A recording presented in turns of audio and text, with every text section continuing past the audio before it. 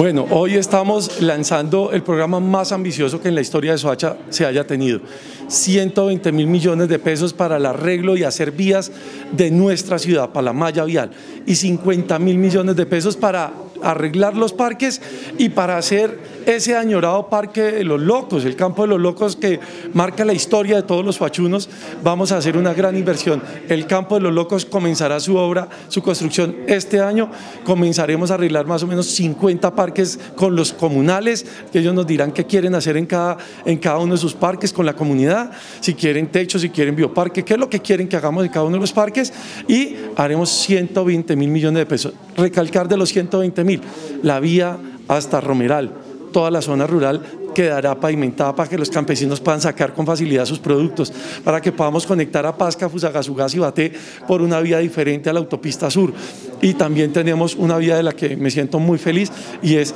la vía que conectará desde el rincón del lago hasta la isla, ese tramo de vía también lo iremos a pavimentar y una muy importante es la pavimentación del barrio Balcanes, que nos conectará con el Perdomo y la avenida perimetral de la novena, como la pavimentación de la carrera 30 de San Mateo, como la de la calle 30 de San Mateo, como la pavimentación de la calle 22 a la altura del Sol hasta la perimetral, muchas obras que llegan para nuestra ciudad.